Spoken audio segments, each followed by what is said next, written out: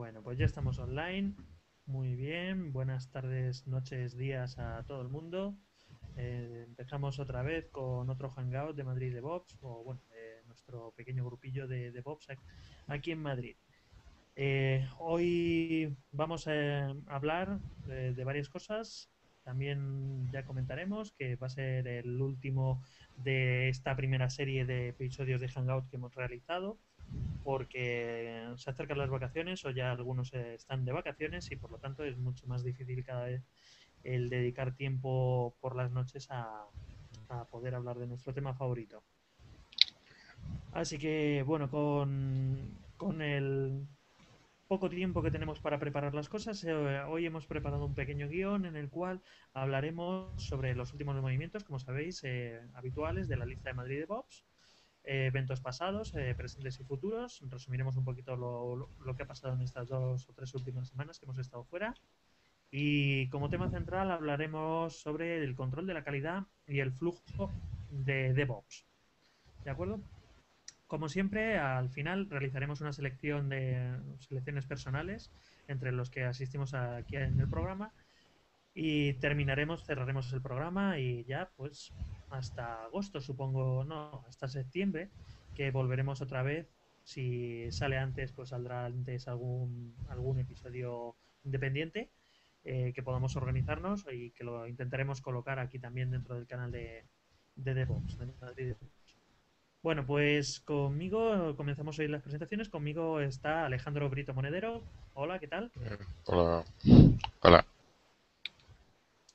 Y, yo mismo, Jorge Moratilla Porras. Así que como no hay mucha más gente, pues comenzamos. Alejandro, tío, ¿qué, ¿qué, has sabido tú en estas dos semanas o tres semanas que hemos estado, o que he estado yo también fuera, eh, de movimiento en la lista de Madrid de Vox? ¿Qué comentarías tú o qué reseñarías como temas principales? Déjame eh, primero abrir la chuleta del grupo, porque si no, no me acuerdo de cosas, pero no de todo. Bueno. Ok, está, ¿no? Eh, voy, voy, voy. Bueno, está la... Bueno, lo que comenté la semana de, de que había hablado con el grupo de Python Madrid por si querían hacer una charla conjunta. Entonces, les agradó la idea. Pero claro, la van a hacer bajo el manto de Python Madrid. Y esta que van a hacer la semana que viene va a ser sobre Graphite. Mm, ¿Qué más así he visto? Bueno, en el grupo está esto del famoso cómo definir password en Chef, bla bla. Sí, las passwords para MySQL en este caso.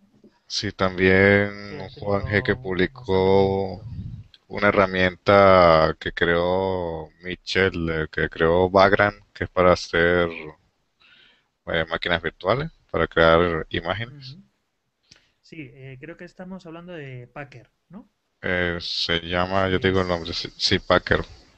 Packer, sí, lo, lo, estuve viendo yo también, porque me llegó a través de, de otro foro, de otra lista, y, está bastante interesante. Es, un, es una alternativa a Biwi, de forma que te permite crear una máquina virtual pues, del estilo Vagrant, pero eh, más independiente que lo que es a día de hoy el desarrollo, bueno, hasta hace unos meses, el desarrollo de Vagrant, que solo te permitía crear máquinas para VirtualBox, y más recientemente para VMware Fusion.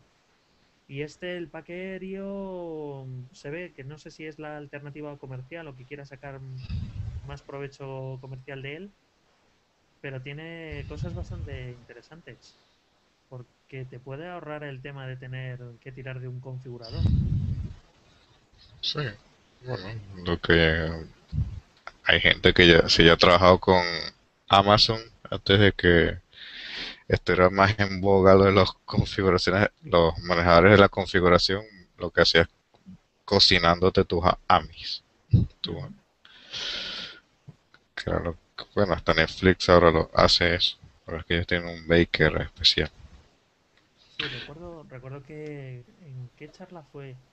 Eh, creo que fue en, en la propia de, de Amazon, en la que se estuvo hablando de Amazon, en la cual hablaban mucho, por ejemplo, de que cocinaban ellos sus propias imágenes y luego las desplegaban porque cuando ellos necesitaban tirar de un nuevo recurso normalmente, era porque tenían picos de, de carga y entonces la diferencia entre directamente arrancar una instancia que ya está preparada a la estancia vanilla, por decirlo de alguna manera, y después meterle toda la configuración a través de Chef, lo hacían, lo hacían bastante más lento, así que por eso optaban de esa otra, de esa otra forma.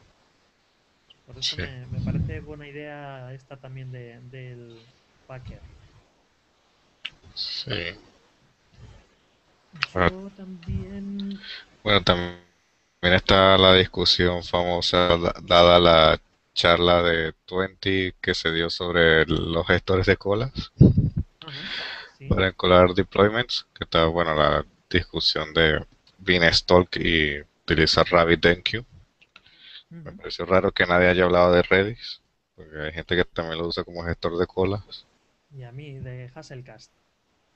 ah, también sirve por eso. Claro, también tiene gestor de colas. Bueno, las colas lo hacen todo. Sí. Hombre, habría otros sistemas de gestión de colas también, depende un poco de cómo lo quieras utilizar. A ver, está ActiveMQ y está uno que tiene Amazon que se llama SimpleQ Service. También Zero, que te ahorra... MQ, ZeroMQ, que también es, ah, bueno. está teniendo bastante fama ahora, que es del creador Sí. o uno de los creadores de RabbitMQ. Sí, creo que sí. De la compañía, si no recuerdo.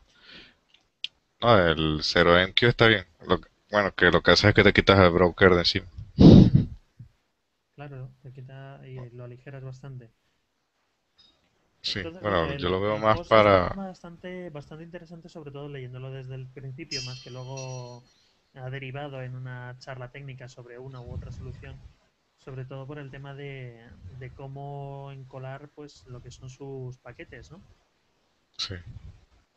Entonces, cómo comunicar eh, el tema de que ya tenemos un nuevo paquete. Yo, la verdad, este tengo que leerlo y verlo en- bien en profundidad porque estoy empezando a, a entrar a este, a este punto en el cual ya, va- ya vamos paquetizando aplicaciones y me gustaría tener un flujo, un flujo de, de directamente ir, según genero un paquete, la gente o las máquinas lo vayan actualizando. Eso me vendría muy, muy bien y me ahorraría mucho trabajo. No, claro. Luego, Nada más de la neta es que se... este era Bueno, en el post, en el grupo que hay, bueno, ya nombré lo de Graphite, bueno, está de la oferta de empleo de la gente de Wacky TV, que está buscando a alguien que haga DevOps, administración de sistemas, etcétera. Sitio interesante. Eh, la compañía ahorita, bueno, acaban de salir ahorita también en Reino Unido y, y además los adquirieron unos japoneses. Ah, Así que hicieron un-. Rakuten, el tercer mayor comercio electrónico del mundo. Yo sé que uno es Amazon, el de medio no sé quién es y están ellos. Ah, qué bien. Sí. Eh, pero eso es del año pasado. Pues no, ¿Usted piensa? no me he enterado. Hombre, lo único, el sitio es en Barcelona, ¿no? Pero hay que estar allí físicamente o no? Eh, físicamente, si no, no- como puse ahí, yo no hubiera puesto eso ahí. No hubiera sido necesario. Pues a ver, yo también de- había una que lleva ya algo, algo más de tiempo, que es el de probando webs en preproducción. Ah, sí, Es un- una charla, un post que inició Andor, en el cual pues preguntaba técnicas o best practices para, para lo que es cuando estás probando en preproducción o incluso en laboratorios en fases más previas, cómo gestionar el tema de los DNS y cómo gestionar el- las URLs, porque suele ocurrir que lo típico, estás trasteando con cookies de sesión o estás trasteando con, con balanceadores y siempre pues al final mm, no es lo mismo el entorno o el nombre que tú hayas escogido para tu, tu servicio en el laboratorio que cuando ya estás trasteando en preproducción o incluso en la fase ya final de producción. Entonces se planteaba distintas alternativas de cómo utilizar pues incluso los balanceadores de los balanceadores de Amazon para, para crear ahí tu propio entorno de preproducción. Eso ya implica cierto coste, claro, de operaciones, pero también es bastante programable y con lo cual es bastante flexible. Y, y claro, tiras ya de una dirección que te da la propia Amazon. Otra opción era montar un proxy interno, de forma Ah, que el sí. proxy te, te gestionase él la redirección y te falseara, por decirlo así, las URLs. Sí, eso yo lo vi que lo hizo la gente que le había montado la página al Fútbol Club Barcelona, que lo Sí. demostraron en un, el evento de Amazon. Sí, lo comentamos El caso lo antepenúltimo. en el evento. Y luego, Sí. pues, el, el- otras posibilidades, como por ejemplo utilizar un DNS programable Ah, eh, que te permitiera, de alguna manera, ya sea por DNSSEC, eh, mandándole queries eh, directamente por programación o algún otro como el Ruby DNS, que te permitiera pues crearte tú tu propio entorno y eh, en local. Es decir, pues yo me levanto mi propio servidor de DNS, me lo conecto en local y ya me hago todas las pruebas eh, desde ahí. Y a medida que vaya haciendo pues una programación, pues voy levantando más servidores. Por ejemplo, si necesito, por lo que sea, hacer un DNS round robin o cambiar direcciones desde local para hacer otra prueba, es simplemente cambiando algo a través de, de programa o de programación con Ruby y me pareció bastante bastante interesante. sí. eh, Y- También lo, más. ¿cómo? Eh, no se puede usar DN, DNS Max. También. Con Que DNS eso lo utiliza. exactamente. Y, y por ejemplo, Foreman utiliza unos agentes para gestionar tanto las peticiones de DNS como las peticiones de DHCP que implican acceso a través de API. Entonces podrías llegar a crearte tu o instalar el Smart Proxy Agent que lo llaman los de Foreman, la máquina que gestiona el DNS y el DHCP, para pasarle peticiones de que te creen máquinas de forma virtual a utilizar la API que han desarrollado los de Foreman. Y eso también sería otra buena opción. Pero vamos, eh, otras opciones es eso, utilizar ya directamente el balanceador, es utilizar, crearte un proxy que te falsifique.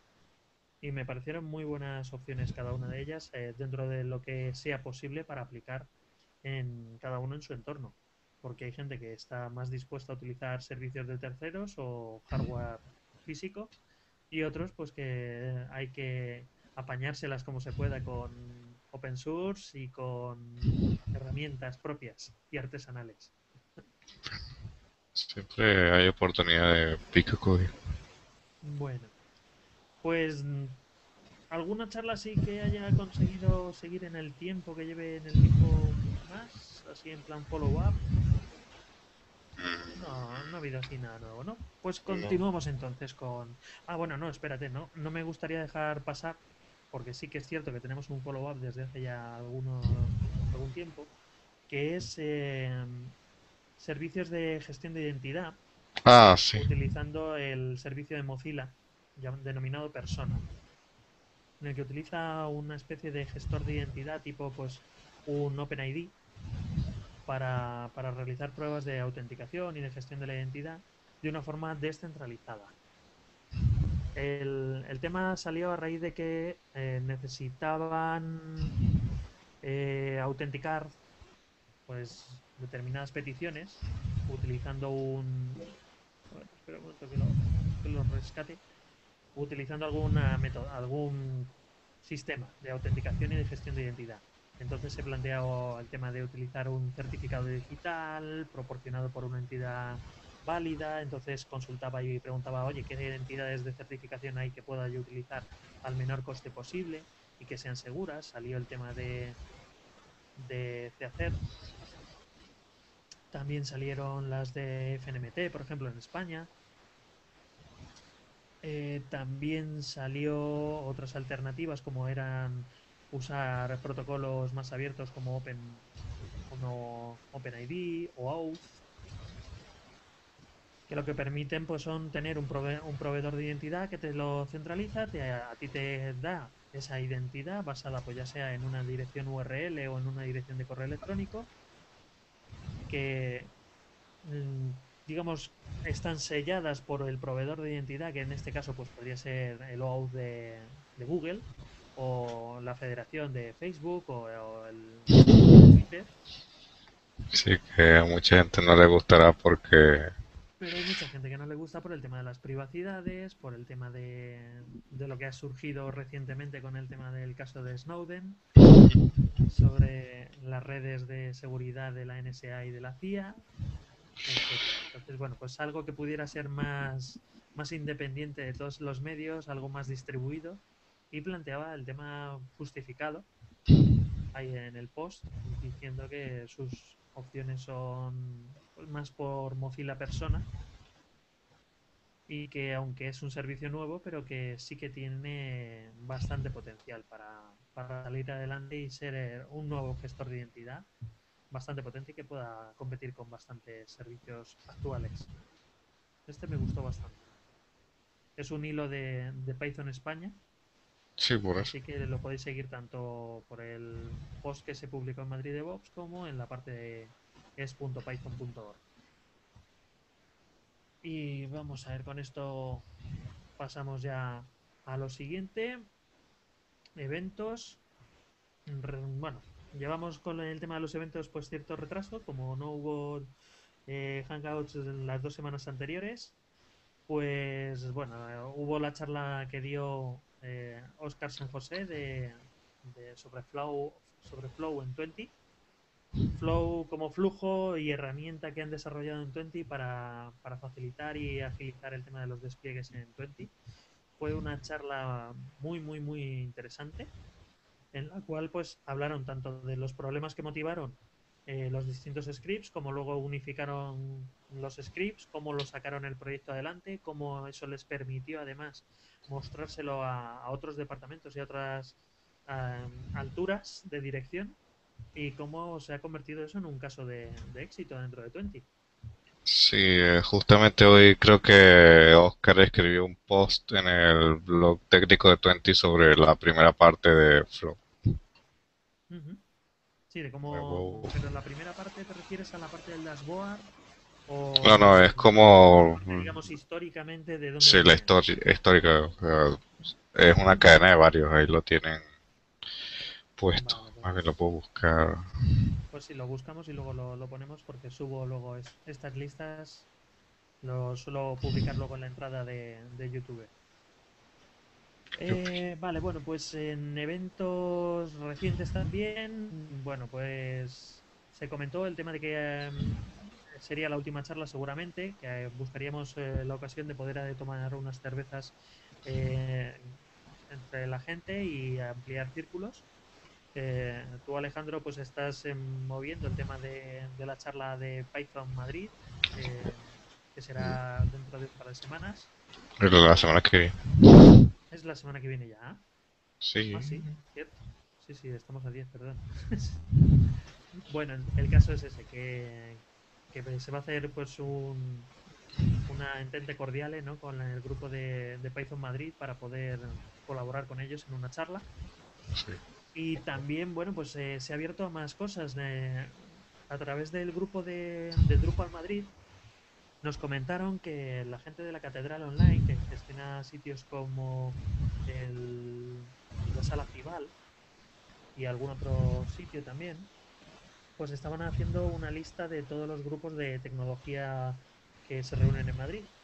Y eh, pues nos pidieron que, oye, que nos apuntáramos ahí. Así que por lo menos eh, he hecho, he enviado la carta de presentación del grupo de Madrid DevOps. Les hemos enviado también, pues cuando nos solemos realizar nuestros eventos, el tercer jueves de cada mes, y luego el tema este de los Hangouts como otra iniciativa, que tenemos nuestra página de Google Plus, y nos han enviado algo de información que, que, bueno, no la, no la tengo ahora fresca en la memoria, pero sí que sí que nos enviaron temas de que podríamos utilizar eh, recursos compartidos con, con todos los demás grupos para intentar favorecer el que a la gente le pueda llegar iniciativas culturales técnicas de este, de este estilo y no tener que chocar como ocurrió hace ya tres semanas que tenemos varias charlas a la vez en distintos lugares sin intentar pues, ver que sea, sea accesible a todo el mundo. Sí, eso es Y importante.